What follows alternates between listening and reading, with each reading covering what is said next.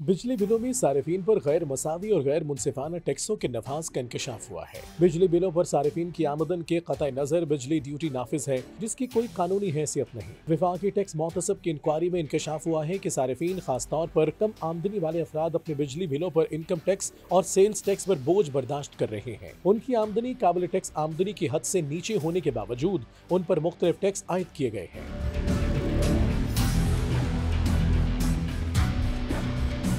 صارفین پر آمدنی سے قطع نظر، یکساں بجلی ڈیوٹی ای ڈی کا نفاذ، ٹیکس دہندگان پر مالی طور پر بہت زیادہ بوجھ ہے۔ تحقیقات سے یہ بھی معلوم ہوا ہے کہ صوبائی توانائی کے محکموں کی جانب سے بجلی ڈیوٹی میں بہت سے تضادات ہیں اور جمع شدہ فنڈز کا غلط استعمال کیا گیا ہے۔